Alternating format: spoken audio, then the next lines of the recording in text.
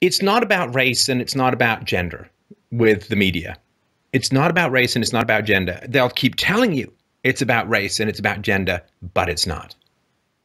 Because if you are on the left, the media will circle the wagons. Now, if you're a woman on the left and if you're a black on the left, you're a white on the left, doesn't really matter. An Asian on the left. If you're on the left, the media will go to the wall to protect you, to to keep negative information about you from the public, to bury as much as they can to avoid any topics that cast aspersions upon you. If you're on the left, what matters is the left, the socialist stuff. It doesn't matter the race, the gender, the whatever, right? Mm-hmm. On the other hand, if you're on the right, then they'll attack you no matter what. Like if you're black, they'll attack you. If you're gay, they'll attack you, as as Milo has sort of experienced uh, over uh, over the years. If you're black, they will attack you, or at the very least, they'll fail to defend you.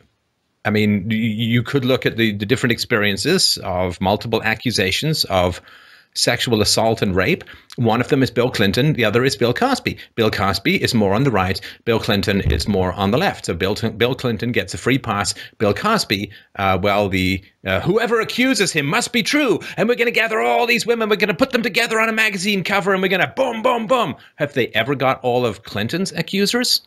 No. On the cover of a magazine and said we must believe them because it's true and reported endlessly on every accusation. No, because Bill Clinton's he's white, but he's on the left, so he's he's of the protected class. Bill Cosby is black, but he's on the right. Just I don't know if he's a conservative or not, like officially, but uh, he does talk about you know the the black community fixing its own problems. And of course, if the black community does fix its own problems, which of course we all want to have happen, then the Democrats won't have much to sell them anymore. So there is no particular incentive uh, for the media to help the black community solve their own problems. So anyone who comes along with um, suggestions that will help the black community fix their own problems, as um, uh, you can, uh, the pound cake speech, you can look this up, and, and there's other speeches that uh, Bill Cosby made. And Bill Cosby's very success, of course, and Bill Cosby had a very, very high IQ as well. We've got a whole presentation about him. Or if you look um, at, at women, uh, just if you really want to be horrified by, by this language, look up what Bill Maher, M A H E R, was saying about Sarah Palin. He used the see you next Tuesday word. I mean, just hammered on her. Look at how the media treated Michelle Bachmann. Michelle Bachmann versus the way that they treat Hillary Clinton. Michelle Bachmann, it's a totally different planet. So they'll try and tell you it's about gender and it's about race and it's about Eh, sexual orientation. It has nothing to do with any of those things fundamentally. Those are just the covers. Those are the distractions. Those are like the, the pickpocket, the two person pickpocket team, like the one bumps into, the other one reaches in and takes your wallet. Well, it's all about promoting the left and attacking the right. And this is why the right generally wins because they're stronger. They're swimming upstream. And uh, so what it does is it punishes people for being on the right and rewards people for being on the left. It has nothing to do with moral considerations whatsoever. And what it does is it tries to lure people into the protection of being on the left. Because if you're on the left, you can do just about anything and get away with it.